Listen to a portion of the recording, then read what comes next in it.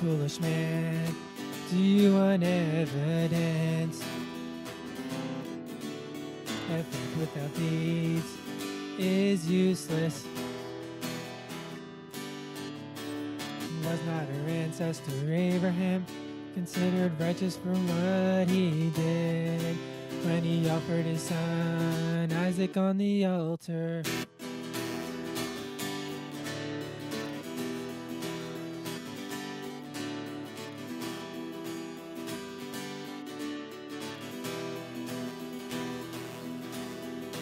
See that his faith and his actions were working together, and his faith was made complete by what he did.